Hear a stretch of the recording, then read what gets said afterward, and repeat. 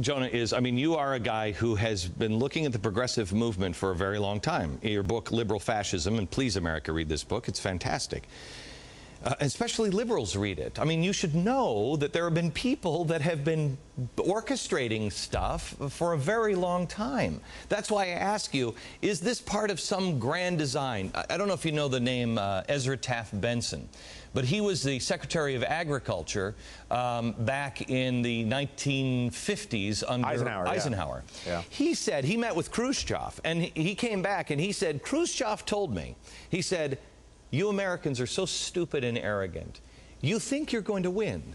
Your grandchildren will live under communist rule. And Ezra Taft Benson said, You're crazy. That will never happen. You don't know America. We'll fight you to the last man. And he said, We're just going to feed you socialism, dribs and drabs, until one day you wake up and you're living under our rule. He said it would happen by the time he said, uh, Mr. Benson, your, um, uh, your grandchildren will live under that system. I'm having dinner with his grandchildren this Saturday. Look where we are. I mean, is that just a coincidence? Well, I mean, look, I mean, he, you know, the, the Khrushchev and those guys, they were talking in the context of we will bury you, Soviet rule, and all of that.